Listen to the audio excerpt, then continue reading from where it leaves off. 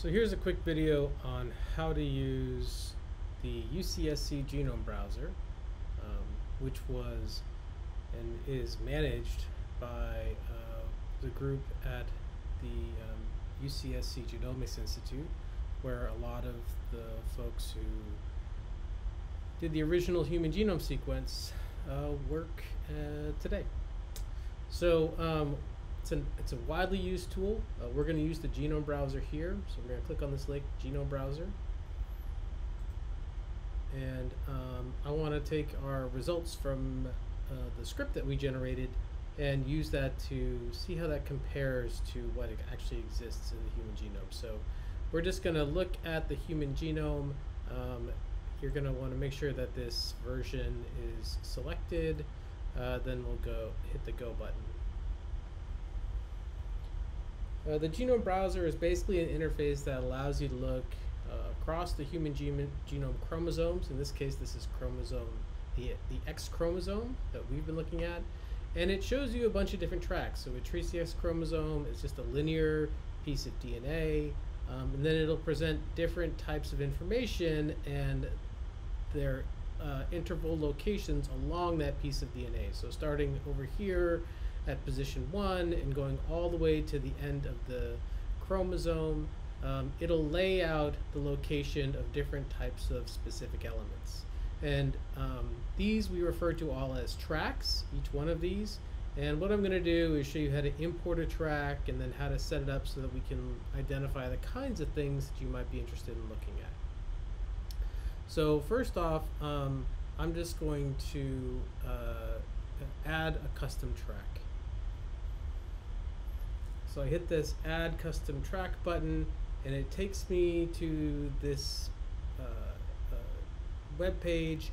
I'm going to choose a file and the file I'm going to choose is going to be um, the whatever bed file that you created after you completed the parsing problem in section parts 1 and 2 of the assignment.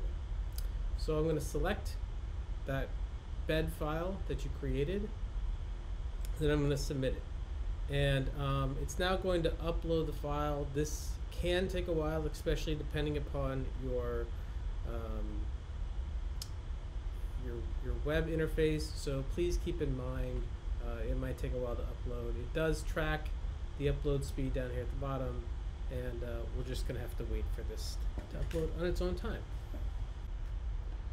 So after it's finished uploading, this page should launch, and you should have a user track here. Um, and so this is a track that you've now added to the genome browser. So um, I'm just going to click on View in Genome Browser. Go. And now what you'll see in this case is that um, we have all of our tracks here, and here is the user track that you just added. Uh, notice there are a whole bunch of other tracks here. We don't really need to see all these tracks. So uh, I'm just going to go down here and I'm going to turn off a few of these. We're going to leave on base positioning, but let's hide the fixes, the alternative haplotypes. We'll just leave on the NCBI refseq, and I'm going to make it dense so that it's a little bit easier to see, um, to visualize. We don't need to see the OMIM alleles we don't need to see gene expression data. Um, don't need to see regulation data. I am going to leave some conservation data. So this shows you know which sequences are actually conserved among multiple species. So I'm going to leave that on, but I'm going to put down a dense so it's a little bit easier to see. Um, I'm going to hide the variation, the SNPs, and then I am going to leave on uh, repeat masker, and I'll leave it full for the moment. So once you have these all selected, repeat masker, um, conservation dense, uh, refseq dense, base position user track. Oh, and there's one more. I actually want to show GC percentage. And then the other one that I wanted to show was um, CPG islands. So it does have a place where there are predicted CPG islands, and that's down here in regulations, so we're going to show those as well.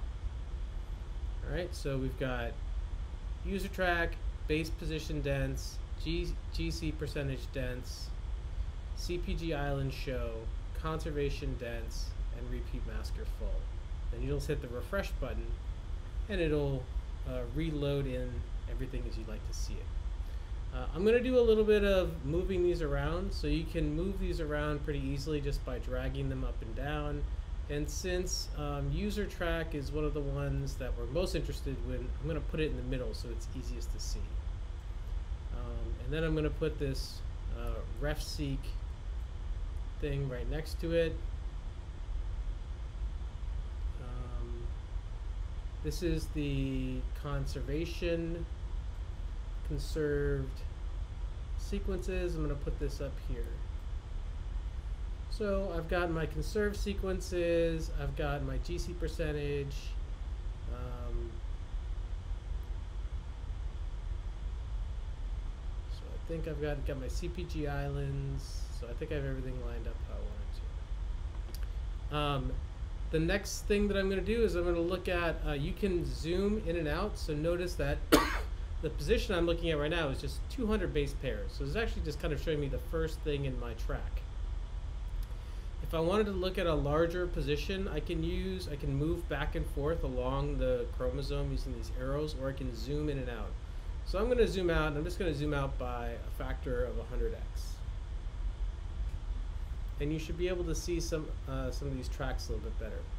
You can also pull if you want, so you can pull to the left and the right, and that'll show you um, all these things as well. Now that we've gotten to this point,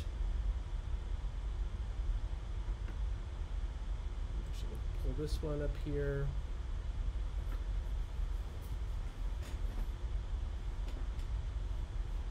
So one of the interesting things, right, is now you can start to see where our predicted CPG islands might overlap with other genetic elements. And what I'd just like you to do is take a little bit of, to explore around and see what you think about the relationship between where we made predictions about CPG islands and their predictive role in the regulation of gene expression and where we actually see um,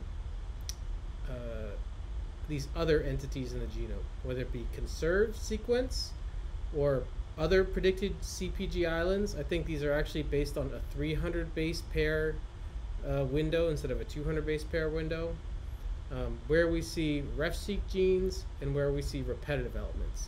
And you can start to see where you know you might see our CPG islands predicted overlapping with other ones, and where they don't overlap.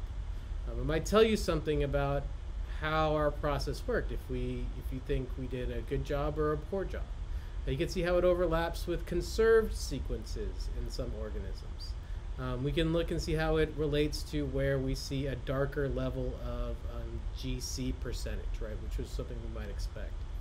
And then we can also look to see where it overlaps with repetitive elements, and these are elements that don't code for DNA but actually might be viral in origin. So do we see it overlapping with certain types of these repetitive elements? And you can zoom out even further, so that was a 20,000 base pair segment.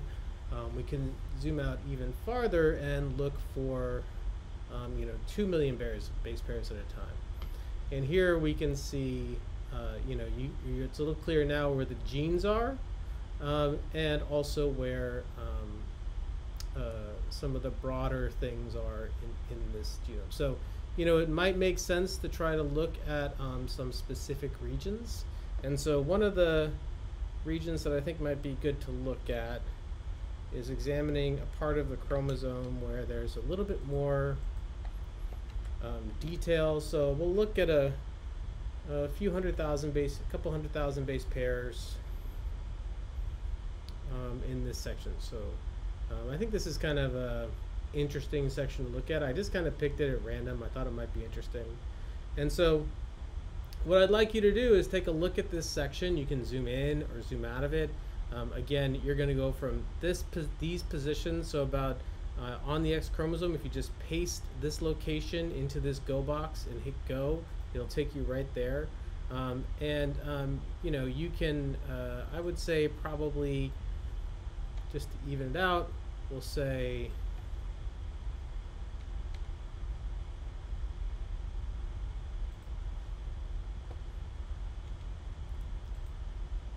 from one mil from position one million three hundred and twenty eight thousand to one million four hundred and ninety five thousand. Right, this will be the region that we'll investigate. So what I want you to do is take a look at what we generated and how you would relate that to um, some of the other things that you might see on um, uh, that are already annotated on this genome as well. So particularly, I think it's interesting to look at how it relates, how these entities might overlap or not overlap with genes, overlap or not overlap with repetitive elements, overlap or not overlap with other predicted locations of CPG islands, and what does that mean for the algorithmic approach that we took. So hope that helps you set up and answer part three of the assignment.